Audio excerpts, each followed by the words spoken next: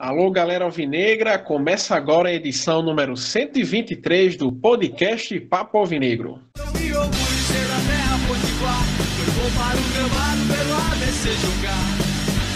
de ser da terra potiguar, vou para o gramado pelo ABC jogar.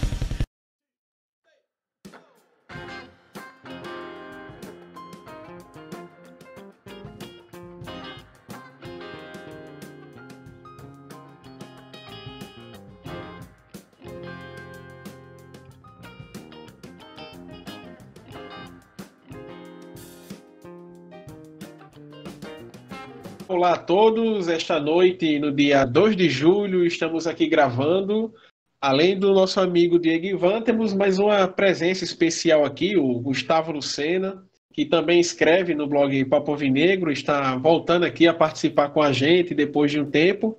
Hoje a pauta vai ser densa, viu? Vai ser bem legal. Treta aí que teve da MP dos direitos de transmissão. Boa noite aqui, vamos às primeiras considerações de Diego Ivan.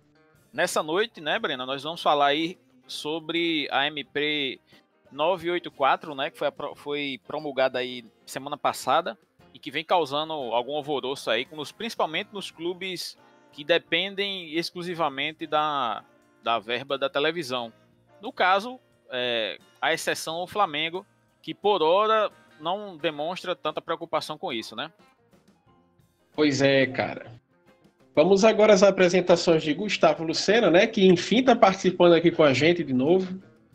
Pois é, depois de um longo e tenebroso inverno, estou voltando assim ativo, assim, eu, estou organizando assim uns projetos meus antigos assim de estudo de calendário, umas coisas que eu até já falei que eu gosto muito de fazer. Assim, eu estou tentando organizar para ver o que futuro eu posso dar assim de, de, por onde eu vou lançar esses meus projetos, mas Sobre a MP 984, assim, realmente não. Assim, eu acho até um consenso geral que o lado positivo é de que quebra o monopólio da Globo. E foi essa a meta, de uma certa forma. Quebra assim, a, a questão do monopólio. No entanto, é, é preciso ver a questão de que é, ele também vai aprofundar, assim, nesse começo a gente nota que vai, pode aprofundar muito a, desunião dos clubes, a, o individualismo, assim, e acontecer aquilo que acontecia até pouco tempo atrás na, na Espanha, quando Real Madrid e Barcelona é, do, assim, tinham verbas absurdas em comparação às concorrências, aí precisou até da intervenção da La Liga para tentar equilibrar as coisas, sabe? Na questão do, da distribuição do dinheiro, da das vendas direito de TV, teve isso também. Pois é, né? Vamos aqui agora. A MP 984, que ficou conhecida como a MP do Flamengo, ela foi promulgada né, pelo presidente Bolsonaro há alguns dias. Ela não é definitiva, seu nome provisório já diz. Ela tem inicialmente a, a, a vigência máxima de 120 dias até ela ser votada no Congresso Nacional.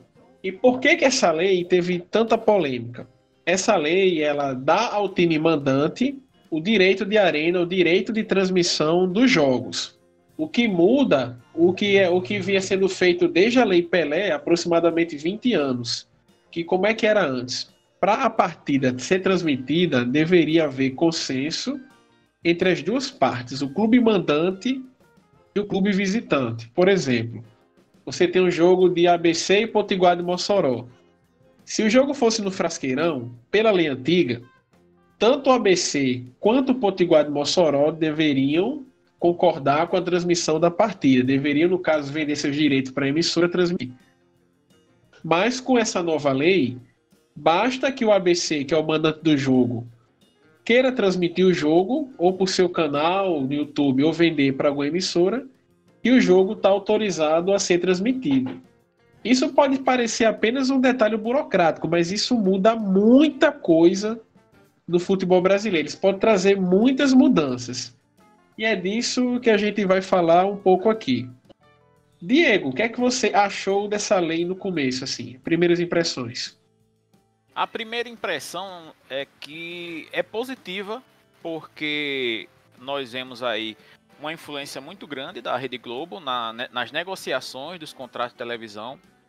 Tanto é uma influência é, alta que uma das responsáveis pela implosão do Clube dos 13 foi exatamente a aquela concorrência pública que o Clube dos 13, que negociava por todos os times da Série A do Campeonato Brasileiro, abriu e, e viu-se a possibilidade de outras empresas entrarem no bolo de, de, de, de transmissão dos jogos do Campeonato Brasileiro.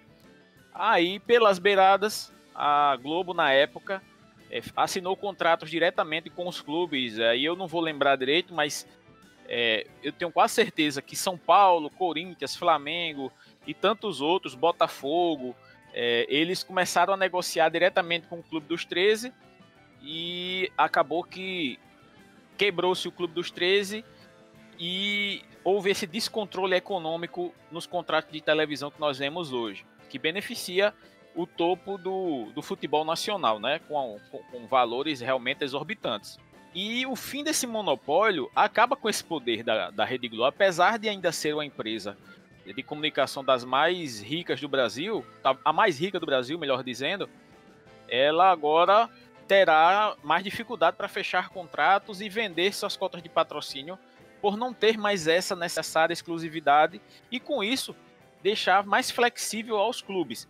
Isso eu só falei é, em referência aos clubes da Série A e um pouquinho da Série B também, porque, sinceramente, para clubes da Série C e Série D, que é o caso do ABC, nesse momento, eu não vejo mudança nenhuma, já que nenhuma empresa transmite os jogos da Série D, né?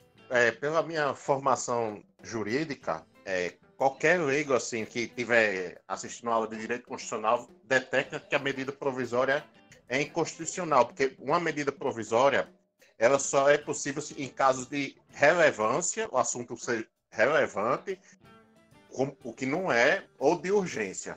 Esse tipo de MP poderia ser gestado simplesmente em negociações horizontais entre os clubes mesmo. Poderia se fazer isso, um acordo assim.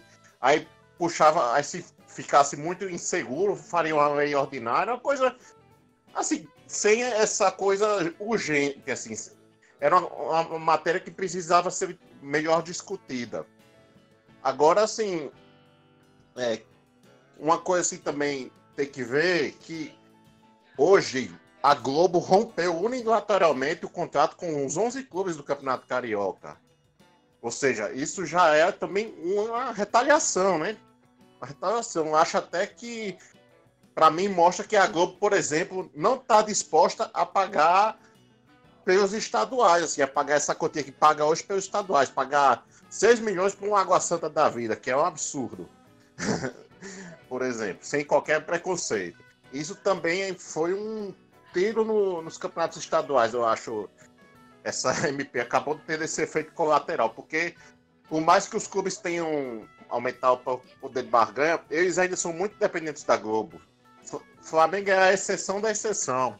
Mas você vê hoje os times como Botafogo, os próprios times de São Paulo, Fluminense, Vasco, Cruzeiro, é, Atlético Mineiro, estão todos endividados. E, cada, e continuam ainda naquele ciclo vicioso de depender de antecipação de cotas. Aí agora, se a Globo sair, como é que fica? É esse o problema.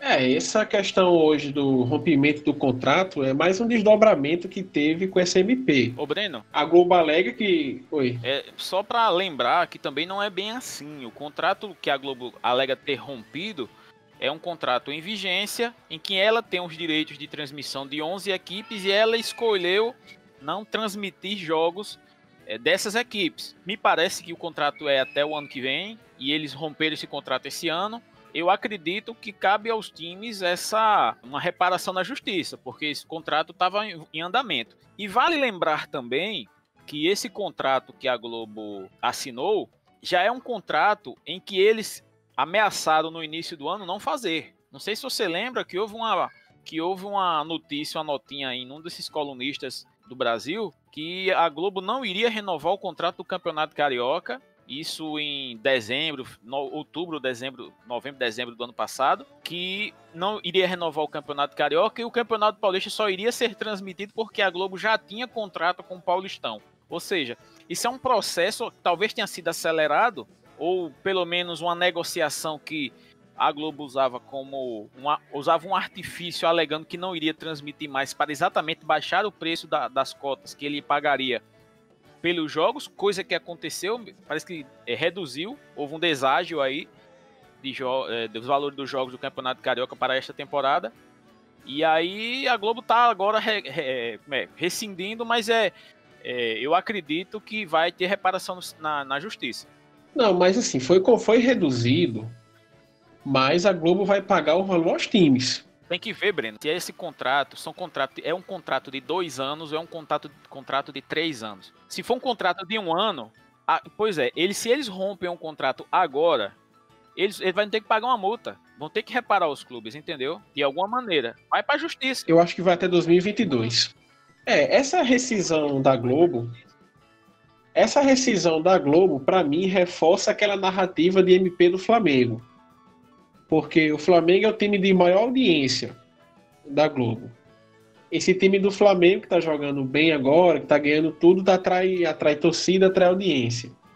Os outros times, assim, nem, nem tem um time competitivo para bater o Flamengo.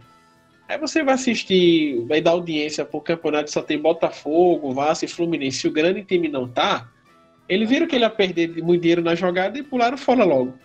Não, um detalhe, Breno, mas assim, a audiência do Campeonato Carioca vem caindo ano após ano. Dos campeonatos estaduais em geral, estão muito baixas as audiências. Se a do brasileiro já também já não é essas coisas todas, a dos estaduais estão caindo vertiginosamente. É, são torneios que têm um formato pouco atraente, assim, nenhuma, com nenhum atrativo, muito assim, muito jogo que não vale nada. Aí isso também deve a Globo deve pensar também isso, que aproveitou o ensejo dessa MP do Flamengo para tentar tirar o time dela também, né? Ou querer mudar as coisas como está. É, a Globo está cuidando dos próprios interesses, porque isso que o Diego falou de, de reduzir as cotas de televisão. Faz sentido você diminuir o número de jogos estaduais, como vem sendo tendência, e você manter o mesmo valor? Você paga o mesmo por menos jogos? Isso é algo que não é tão cabível assim. Na verdade, a Globo estava pagando mais por menos jogos há algum tempo e já se, se imaginava que nos próximos cinco anos o campeonato estadual é, passaria das 17 datas que é hoje na maioria dos estados, é, principalmente dos estados que têm times na Série A, e passaria por um número menor de 15, 14 datas. E a Globo já acenava com a necessidade de reduzir esse valor porque queriam-se menos jogos para transmitir. A verdade, a verdade é que Gustavo Lucena, que é um cara que estuda aí a, a, o calendário, ele há de concordar comigo, você também, Breno, que o campeonato estadual para os times que disputam Série A e Série B, como as competições que geram renda no futebol brasileiro, servem no máximo como um torneio de pré-temporada. E você ter um campeonato desse com 17 datas ou 21 datas, parece que o Paulistão tem 21 datas, é um exagero de datas inacreditável, né? É, o Campeonato Paulista tem muitos clubes, né? É, mas hoje tem menos datas, hoje tem 18 datas, mas eles reduziram, fizeram umas, uma forma de disputa assim meia estranha, que estranha e meia, que eles Assim, conseguiram reduzir para 18, mas a CBF parece que quer empurrar para 16 ou 14 nos próximos anos. Eles estão querendo reduzir mais e mais o estadual. Eu acho que a tendência é que eles sejam, assim, se o, no futuro a gente tiver uma. a CBF tiver uma gestão mais profissional, é que esses estaduais sejam engolidos pelo Campeonato Brasileiro e se tornem a quinta divisão, vamos dizer assim, da Campeonato Nacional. É uma tendência que pode acontecer. Até porque tem reflexo de, em diversos campeonatos, né? Você tem a primeira, segunda, terceira divisões nacionais e geralmente a quarta já é regionalizada. É meio que, é, vamos dizer, um, Copa, um campeonato do Nordeste seria uma divisão da, do Campeonato Brasileiro, um Copa Sul seria uma divisão do Campeonato Brasileiro e por aí vai, certo? é uma tendência mundial que isso ocorre. E aí o Gustavo, a gente já se conhece há muito tempo, a gente já discutiu algumas vezes é, esse assunto. É, e, e, e, é por aí mesmo. A gente talvez é, o que está acontecendo é, na verdade, uma demora para que ocorra essa mudança no calendário dos estaduais. Eu, a impressão que eu tenho é que a melhor solução é transformar os campeonatos estaduais como os campeonatos, como os torneios de verão, por exemplo, na Argentina, que fica ali no período de fim de ano ali, é, meio dezembro, a, a janeiro, por ali. E o, e o calendário dos ditos pequenos e o ABC se encaixa nisso enquanto estiver numa série B, D, C, D por aí, é, seria jogar esse estadual antes de dezembro e com o final do estadual ali para janeiro, por ali, entendeu? É, para que quando começasse o Campeonato Brasileiro Série A, começasse o A, o B, o C e o D no mesmo período, eles o C e o D terminariam mais cedo, e nesse terminar mais cedo, se encaixariam os estaduais para as equipes pequenas. Aí você extrapolando isso para Rio de Janeiro e São Paulo. As equipes que não estão em Série A e Série B, elas jogariam esse torneio classificatório para um hexagonal, para um, sei lá, um octogonal, alguma coisa nesse sentido, um campeonato ali que gere, vamos dizer, 8, 10 datas, 12 datas, para começar o campeonato brasileiro, entendeu?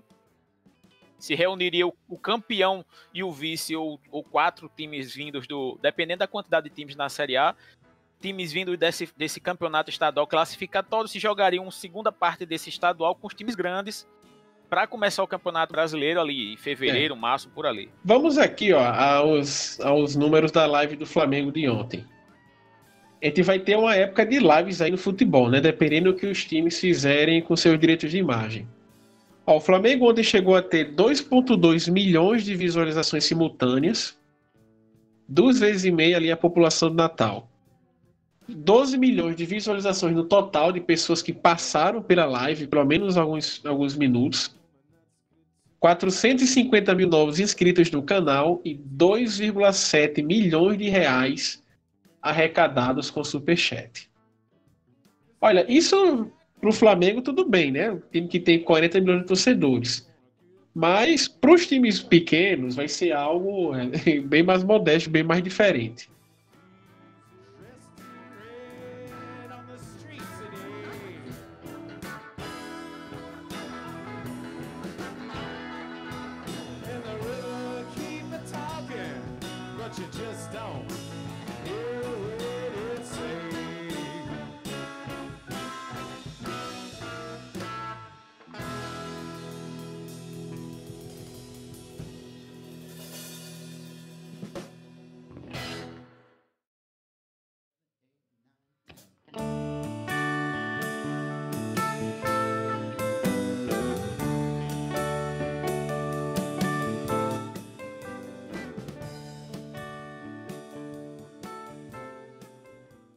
Aí a gente vai entrar aqui numa discussão agora sobre os times pequenos, né? Nossa realidade, o ABC. Porque a Série C e a Série D, elas já não contam com um contrato bom de televisão, como a Série A tem, ou então aquela coisinha que aquele que os times da Série B ainda pegam. Em relação ao ABC, o que muda para o ABC essa MP de direito de transmissão? Breno, para o Breno, por. Caramba! Trava a língua agora, hein? Breno, por abre. Caralho de novo. Vai lá, Gustavo! Rapaz, eu acho que o ABC, creio que vai ter, não muda muita pouca coisa muda, porque o ABC geralmente quando o jogo na Série B assinou com a Globo, assinou um contrato de adesão, né? Era, é o clube mais de aderir, não, não de impor. O ABC não tem, assim, sozinho o ABC não tem forças para assim, apitagando. O que é que poderia fazer o ABC, eu acho? Por exemplo, vamos supor, vai jogar ABC e Jacuipense do, da Bahia na Série D. O que é que ele, ter, ele teria que pegar, é, se reunir com a diretoria do Jacuipense para negociar conjuntamente os dois jogos, de ida e de volta, para as empresas locais daqui e de lá em Jacuípe não tem muito o que fazer. É, eu acho que só tem isso, porque é, Porque não tem força o ABC para assim, não, bater no peito e querer vender os jogos assim sozinho. Eu acho que tem. Até porque também é, assim, a situação do ABC é diferente da do Flamengo, que o ABC, essa questão de venda de jogos, só interessa mesmo assim pro, pro torcedor daqui se for, for para ver jogos do ABC fora de Natal. Sabe? Eles não têm. Tanto, assim, a demanda não é para comprar jogos do ABC daqui de Natal, a, a tendência, porque o, o, interesse da diretoria é que o torcedor vá para o estádio. o ABC ainda é um clube que depende muito da bilheteria do, do estádio. E, e a direção do ABC não teria também tanta é, motivação para querer vender só os jogos aqui do Frasqueirão e, e o, o público para comprar ia ser aqui em Natal. Por isso que ele tem que trabalhar sempre em conjunto com outros clubes para negociar sempre o, os dois jogos, assim, ida e volta. É esse meu entendimento. É, Breno, eu acredito que é, para o ABC é, o, a situação é como o Gustavo disse. O ABC, a gente tem que imaginar o seguinte: que competições o ABC disputa numa temporada? O ABC para essa temporada, é, para essa temporada, o ABC disputa a Série D, não tem nenhuma renda advinda da Série D. O, o ABC disputa a Copa do Brasil, que é o que Gustavo acabou de falar, é um contrato de adesão. Você conquista a vaga e se junta aos clubes que participam dessa competição para receber uma participação desse bolo. É, o ABC também não tem nem muito o que negociar, são cotas fixas e tal. Você ganha por desempenho.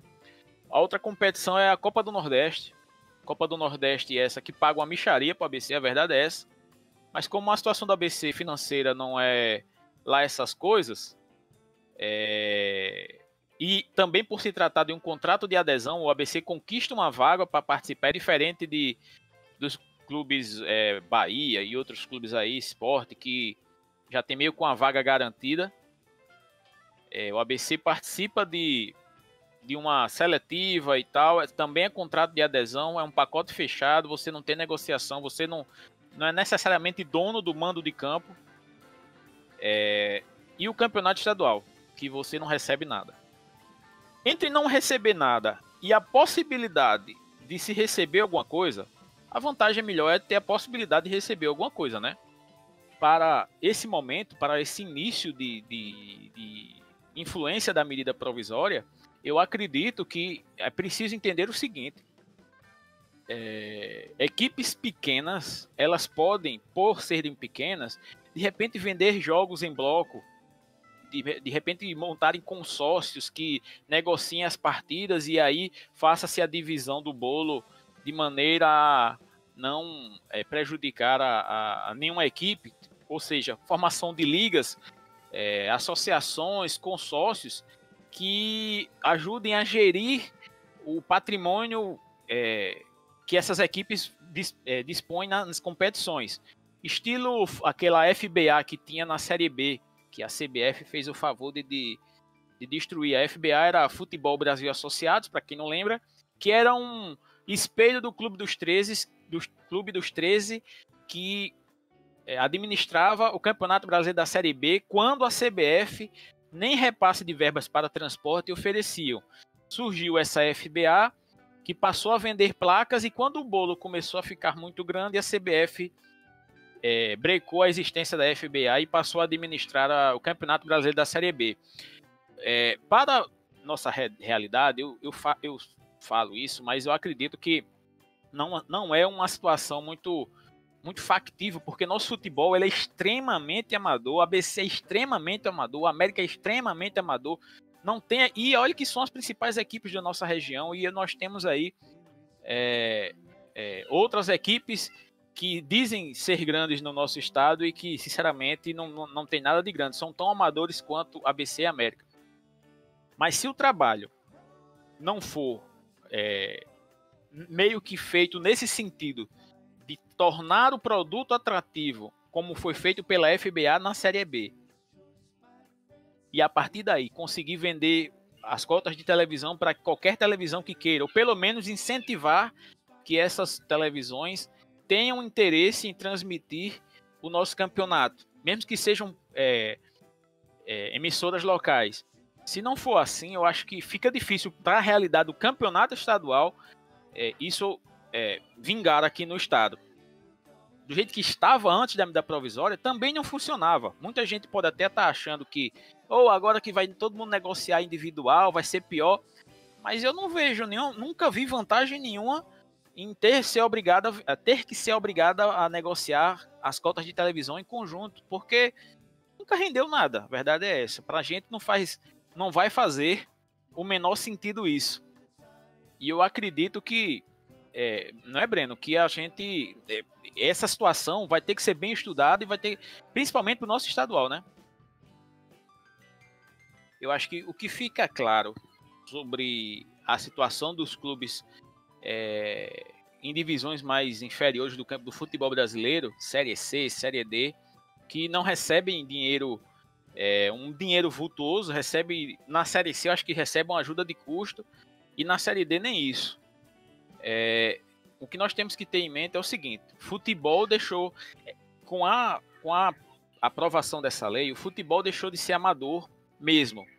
Não há mais espaço para é, equipes que tratem situações como marketing, como jornal, é, assessoria de imprensa, é, que sejam é, é, amadoras. É, a, a, partir de agora, todas essas ações têm que ser coordenadas e profissionais. Porque veja você, campeonato estadual, eu acho que, sinceramente, eu, eu acho que a TV, a Esporte Interativo, eu acho que nunca deu um dinheiro que significasse mesmo para valer para nenhuma das equipes.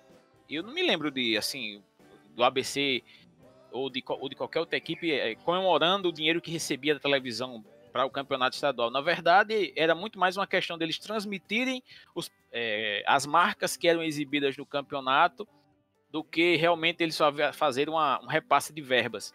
Mas era importante a transmissão, isso aí não há como negar, era importante. Olha, a Copa do Brasil e a Copa do Nordeste são que garantiram bom dinheiro para o ABC nessa primeira metade do ano. Só por participar da Copa do Nordeste, o ABC recebeu um milhão e meio de televisão, porque, é, porque é dividido em grupos. É o grupo 1, que tem Ceará, Bahia 2.2, é, grupo 2, Fortaleza, Náutico, CRB ganhou 1.7 milhões, o ABC ganhou 1,5. Para a competição que dura ali quatro meses, teve até mais ou menos de, de bom tamanho, só com os clubes do Nordeste.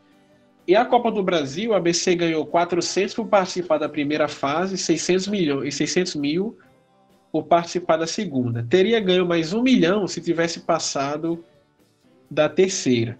Mas eu quero trazer aqui uma notícia de, do final de 2018, um artigo da Tribuna do Norte dizendo TV União quer transmitir estadual.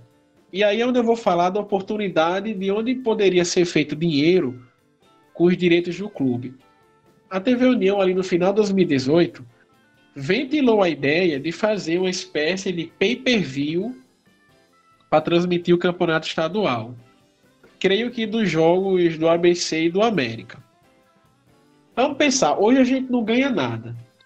E a gente tem, a gente tinha garantido, desconsiderando a pandemia, aproximadamente 14 jogos garantidos do campeonato estadual, fora as finais tinha também 14 jogos garantidos pela participação na primeira fase da Série D, né? Considerando grupos de oito. A gente não sabe se vai ser assim ainda.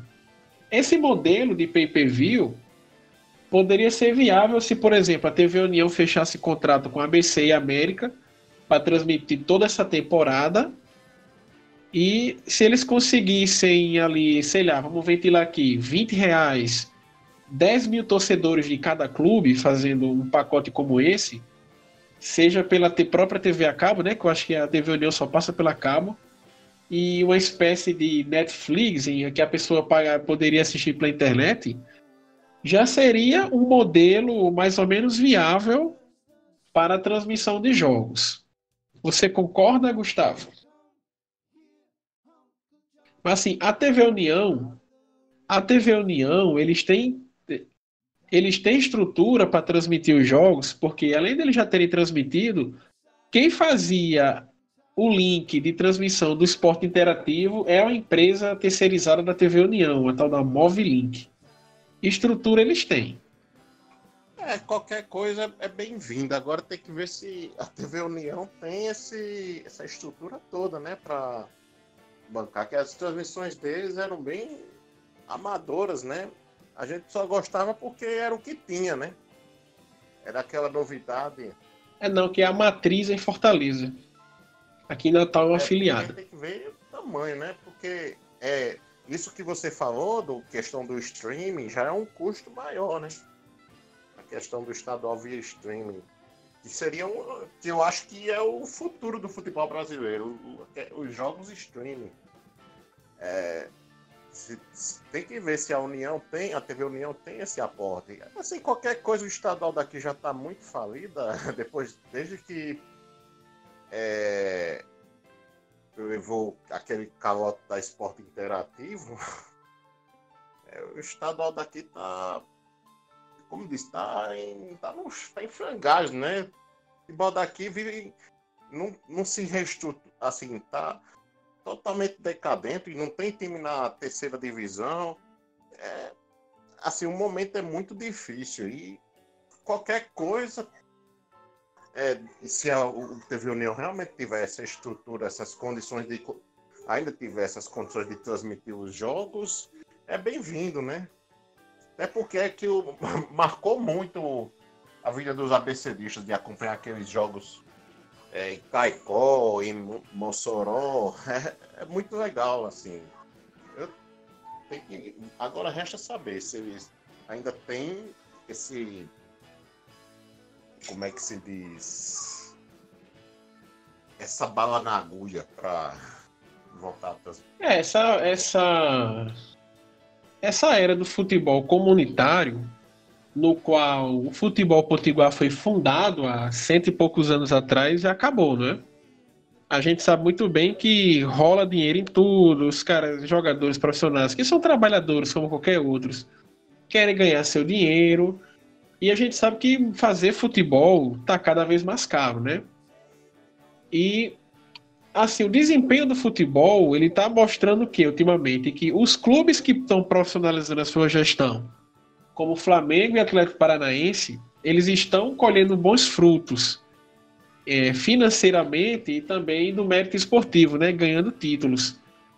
Enquanto aqueles clubes que têm uma administração mais arcaica, mais ligada aos costumes antigos, de sem tanto planejamento financeiro, um abnegado paga um jogador, outro aqui paga outro paga isso, outro paga aquilo, aí depois briga, e depois não solta dinheiro, aí depois falta, traz salário.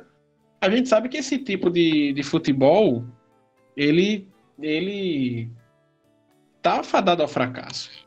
E essa questão da profissionalização da comunicação é algo que vem sendo exigido não por causa dessa MP, mas há muito tempo que a gente vem batendo nessa tecla. Por exemplo, a gente cobrava muitas ações em relação ao centenário do ABC, a gente sempre cobrou que fizessem campanhas valorizando nossos ídolos locais. E em algumas vezes que o ABC acertou nessa questão de mídias, de comunicação, a gente teve um resultado legal. Lembra no ano passado quando a gente teve aquela espécie de uma recuperação ensaiada ali no começo do segundo turno da Série C? O ABC fez ali dois jogos em Natal houve uma, uma, um marketing realmente profissional ali. E em dois jogos que ocorreram dentro de uma semana, a gente fez jogos ali com 10 mil em cada um. Então, isso são necessidades que, vem, que, que acontecem não por causa dessa lei, mas por causa do novo tempo que o futebol vem impondo. Eu acho o seguinte, que eu já penso um pouco diferente, porque eu acho que o futebol amador tem que ser mantido para a questão de se revelar jogadores e manter aquele espírito de ludopédio do esporte, né? Para assim dos, daqueles atletas que também joguem por assim, como uma tarefa de educação física, tá entendendo? Uma coisa secundária tal. Assim, nesse caso, eu, eu gosto, assim, eu vejo muito, eu acho muito interessante é, a liga inglesa, porque lá, na, na verdade, só tem quatro, apesar de, de terem várias divisões, só em quatro delas são profissionais. É, que é a Premier League, a segunda e a terceira e a quarta divisão. 92 clubes são considerados profissionais.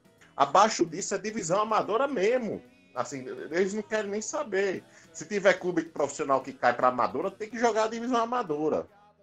Sabe? É, é um modelo que eu acho que poderia ser aplicado aqui no Brasil, mas aqui no Rio Grande do Norte, o que é está acontecendo? É porque tem.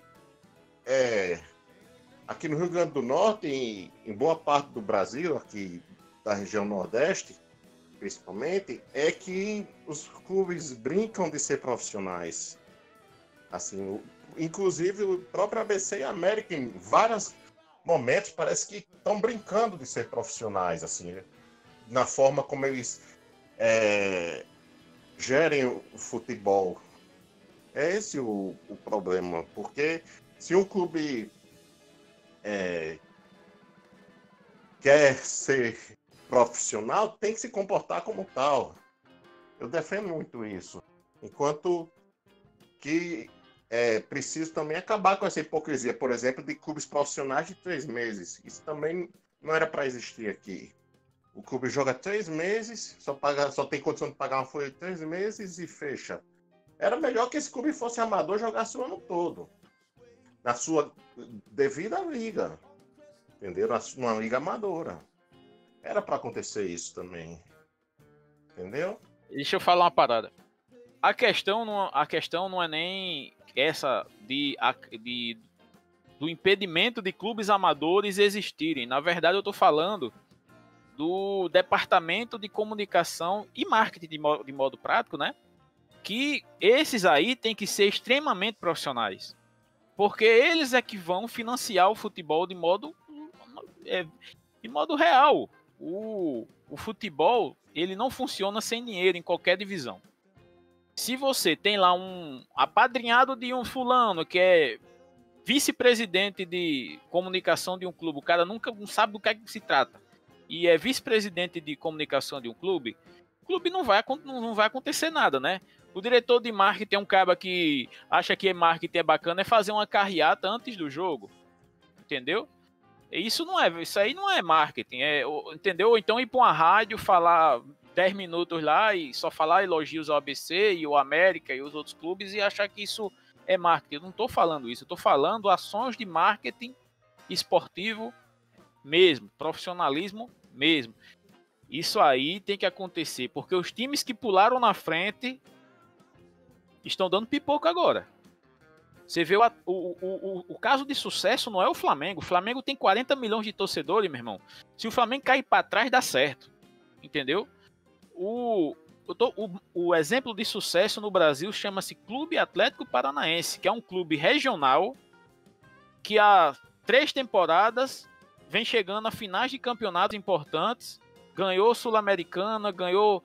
Ela fez Copa do Final de Copa do Brasil algumas vezes e com jogadores que, sinceramente, eu não queria no ABC alguns deles, entendeu? E o Atlético Paranaense é, é um exemplo de sucesso nesse quesito de profissionalismo, é, de, de comunicação e de marketing, porque é um clube rentável, extremamente rentável e regional. E regional. O, o, o, ABC, se quiser mirar num sucesso, mire num, no Atlético Paranaense. É, quando eu falo assim de profissionalizar, também não é a questão de você acabar com o futebol amador. O futebol amador ele tem sua importância, entendeu? Tem gente que estava no ABC um dia desse que veio do, do interior aí, dessas seleções e foram descobertos. Né? Acho que Berguinho deve ser um deles. Mas, assim, pra gente que andou disputando Série B ultimamente, ficou cinco anos seguidos na Série B, para voltar para a Série C, vai precisar de um mínimo de profissionalismo no futebol. A Série D, quem é que sobe da D para C? Quem está um pouquinho ali com a gestão, as coisas por dentro, mas com a casa bem organizada, é quem sobe. Tem que ser profissional, tem que saber ganhar dinheiro, porque futebol virou a máquina de dinheiro para quem é competente. E, e, se você não for competente, meu irmão, você fica para trás e finda desaparecendo.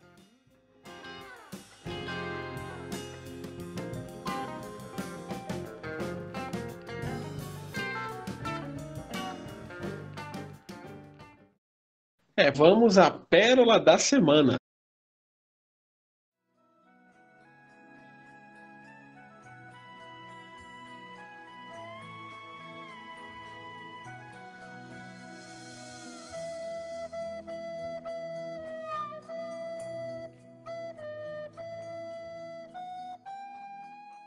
Diego, você lembra que há mais ou menos dois meses atrás o ABC fez uma transmissão comemorativa do 5 a 2 Aquele jogo lá com o ABC vendeu ingressos fictícios né, para os torcedores poderem ajudar o clube. Você lembra que tinha uma turma zoando a gente, né? Lembro, lembro. Tinha, sempre tem, né? Sempre tem. Aí eu tava abrindo o Twitter aqui enquanto a gente gravava esse podcast e eu achei um Twitter de um time aí que tá também vendendo é, ingressos fictícios a um valor de 10 reais. Sabe que time é esse? É aquele time da Catalunha de, de Parnamirim? Sim, é o, é o Barcelona do Nordeste. Que jogo é esse que eles vão transmitir aí? Tem algum jogo para transmitir? Rapaz, não é bem o jogo, não. É o coletivo. Rapaz, o coletivo? É, vão transmitir o primeiro coletivo intertemporada aí. Para quem tava com saudade de ver o Barça. Não, me lembrei agora daquele. É, da Sport TV transmitindo os treinos da seleção em Waggins. Que a torcedora invadiu para ver Ronaldinho Gaúcho. Que presepada. Igualzinho. Mas assim, eu não vejo problema nenhum em a turma fazer essas ações de marketing, né? Transmitindo jogos históricos Agora, se você zoa o, o coleguinha, tem que se segurar na cela, bicho. É porque eu acho que faz muitos anos que o América não tem um jogo histórico. Eu acho que só que é da segunda divisão, do subidor acesso de 96.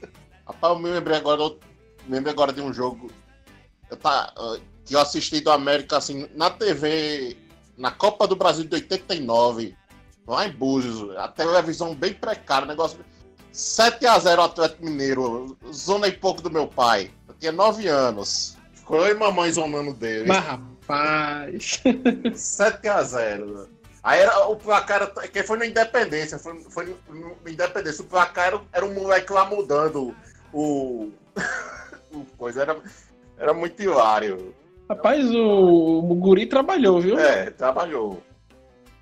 Esse trabalhou para Dedel. Mas é isso, né? Quem quer malhar dos outros tem que aguentar ser malhado, né? E, Breno, quem foi que publicou essa postagem aí? Quem, quem foi que comunicou isso aí? É Malik Najib, da TV universitária. Ah, esse aí é passador de pano mesmo. Esse aí é passador de pano, tá tranquilo. É, isso mesmo. Ele disse que tá, disse que tá tudo bem, né? Foi tudo legal, é bacana isso aí. Foi, né? É, não é demérito para ninguém pedir apoio. O ABC vem fazendo isso e tem, tendo êxito. Só que o ABC não zoou com ninguém. O ABC arrecadou um dinheirinho legal naquele jogo lá e bora pra próxima aí. E, mas a live do aniversário foi boa também. Eu fazia tempo que eu não vi uma coisa boa do ABC, assim. Foi, eu fiquei, achei muito bonita a live do ABC. Foi legal, foi legal. Depois da missa, foi, foi bem legal ali a live com, com o pessoal tocando e tal. Achei bacana mesmo. Os caras mostraram lá os uniformes, né? Uhum, as foi camisas bonito, foi muito bacana. Foi legal. Vocês me lembraram bem o negócio aí, viu? O ABC fez uma live comemorativa legal. Mas vocês sabiam que teve um presidente de um time aí dizendo que não ia comemorar nada e tal? Ouviram falar dessa? Ouvi, ouvi, né? Agora, rapaz, esse cidadão, esse presidente aí do, do Barcelona, ele, ele é complicado. Ele é um cidadão que é meio complicado. Porque ele escreve uma coisa no Twitter, não passa um mês, ele faz diferente, fala diferente. É uma, é uma coisa danada. Eu acho bom é que o ABC fez aniversário dia 29, Aí vai ter o aniversário do Barcelona aí pra, mais pra frente. Vai dar tempo, né? De criar alguma coisa, de, de pensar diferente, tentar fazer alguma coisa, né? Porque se tá transmitindo, é, porque se tá transmitindo treino, pagando ingresso, podia fazer uma live, né? É. Mas foi legal, rapaz. esse presidente aí, né, quem tá falando, claro, né, ah, em respeito às vítimas, a gente vai fazer a festa. Cara, o ABC fez uma missa. O que é que impedia ali de fazer uma oração, entendeu? Pelas pessoas que, que morreram, entendeu? Toda, toda lá, toda comemoração do aniversário de clube, os caras fazem uma missa. Então, nada impede ali de rezar. E também na própria festa, o ABC ali homenageou as vítimas, homenageou os profissionais de saúde, né, que estão arriscando suas vidas, que estão se dedicando no momento. E assim, o tweet dele, cara, foi na véspera do aniversário da ABC, entendeu? Assim, um negócio desse pode soar até como provocação. Aí com certeza. Isso aí com certeza. Foi assim, uma coisa assim que, que se o ABC assim, se esse espírito que organização para a live for transmitido para os demais setores do clube, eu dá para ficar otimista. Não, e é, e é, de, é de, se parabenizar, né? Os que, nós que. Ah, na verdade, eu que falei agora há pouco de profissionalismo, é, nós temos que tirar, dar o braço a torcer porque foi uma live bem interessante, é um evento bem interessante e o ABC poderia tentar espelhar esse, essa live em outras ocasiões, né? Verdade. Pois é, concordo.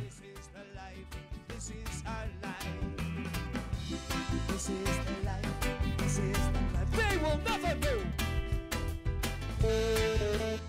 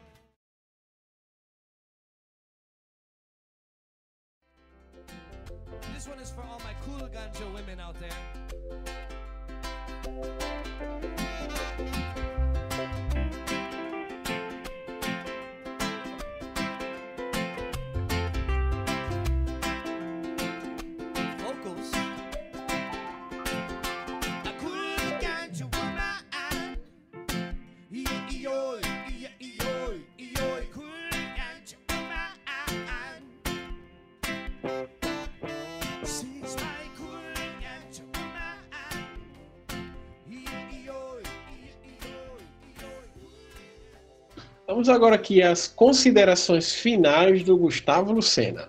É, Diego, Ivan, Breno, muito obrigado pela companhia, assim. Eu precisava, assim, realmente trocar essas ideias, assim, sobre essa questão do calendário. Tá muito difícil, assim, nesse momento de isolamento social. Mas, assim, e realmente, assim, tá, é um momento, assim, que o futebol brasileiro está meio que querendo entrar em erupção, né? Porque, assim, muita coisa tá clamando para se mudar. Assim, muita coisa já não, não quer continuar do mesmo jeito. É, e realmente vai, vai ser interessante acompanhar o futebol brasileiro nesses próximos meses, eu acho. É isso. E obrigado pela oportunidade. Breno, Gustavo, é, boa noite a todos aí. É, isso que Gustavo falou é uma coisa importante. É, na verdade, as coisas no Brasil estão mal paradas já faz algum tempo. Já faz uns 10 anos que, que a coisa está mal parada no Brasil. O Brasil não sabe se é ou se não é, tá entendendo? E o futebol é uma dessas coisas. É, o futebol, ela, ele como um reflexo da sociedade, ela, ele tem seus é, lados escuros, lados claros e, e, a gente o que a gente está vendo é que começou a ficar meio cinza a coisa, né? A coisa tá começando a ficar meio cinza e quando ela tornar a assumir alguma cor dessa aí, nós vamos ver como é que ficou o futebol brasileiro. Se o futebol ele vem para melhorar as relações, estou é, falando exclusivamente do esporte nesse caso, as relações entre os clubes as relações entre patrocínio, entre as transmissões de televisão, ou se piorou a coisa, né? Mas aí é como Gustavo, como tá, Gustavo está dizendo, a gente está de camarote observando essa situação, né? Rapaz, é, você falando agora, viu? Até me a gente se lembra que o futebol, tomara que isso tudo passe logo, porque o futebol é um momento que unia a família, entendeu? Aqui, principalmente. a gente se reunia para assistir o jogo no domingo de tarde, para zoar, para trocar uma ideia e a pandemia fez a gente perder isso também, né? Então, que tudo isso passe logo, né? Que a gente possa voltar logo à nossa vida normal. Um abraço, Diego, um abraço, Gustavo, e obrigado por você que acompanhou até aqui. Valeu, pessoal. Falou. Valeu.